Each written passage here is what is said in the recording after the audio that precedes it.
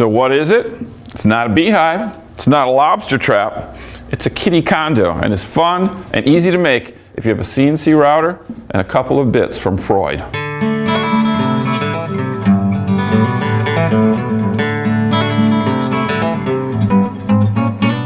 So in order to make all the parts for the kitty condo, we're going to use a CNC router and we're going to employ these two specialty CNC routing bits from Freud. One of them is the engraving bit, and that's the one that we're going to use to engrave the number for each hoop, which will help you keep them in the proper sequence when you're assembling it. The other is a spiral bit to cut out the main hoops themselves. Now we're providing the free downloadable programming for this, for both the cutout and the engraving.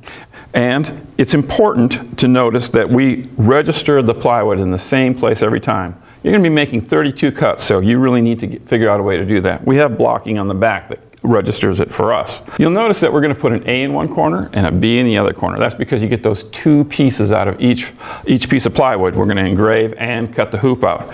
Now, you only, if you do this properly, you only need to register the X and the Y one time.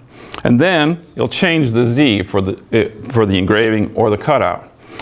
The A and the B you'll see notated in the program. There'll be a 1A and a 1B with each of the programs that we provide for you. So let me show you how we go about doing that and we're going to start with the engraving.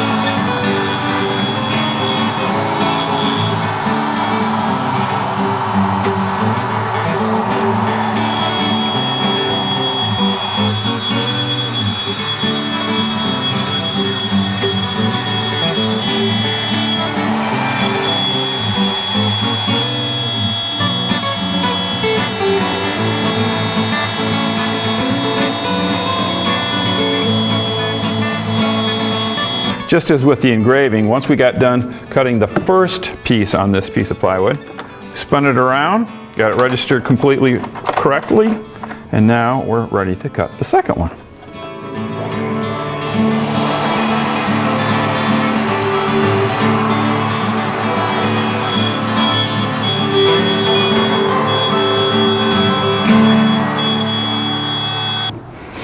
With the parts all machined, you can go ahead and start assembling. You start with the flat back panel, and then you alternate spacers and hoops going up.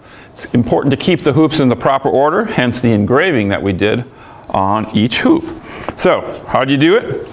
You take a spacer, a little bit of glue, and it's important to align the flat spot of the spacer to the inside of the hoop spacer, hoop, spacer, hoop. That's all there is to it. A little bit of glue goes a long way on this.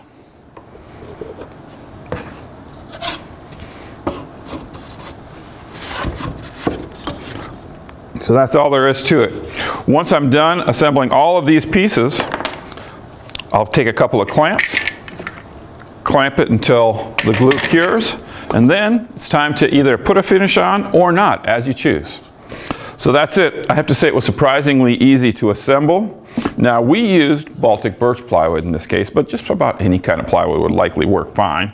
We also put a coat of shellac on here just to keep it clean, but any kind of finish would work. You could paint it, you could put a poly finish on, or a lot of people would just choose to leave it natural, unfinished completely. Now, this is a perfect CNC project. If we were to do this with a handheld router or a handheld jigsaw drill press, it would take a lot of time, a lot of sanding. So if you know someone who has cats or maybe little dogs, grab our free downloadable programming, get to your CNC router and get busy. I'm Rob Johnstone from Woodworkers Journal. Keep on making sawdust.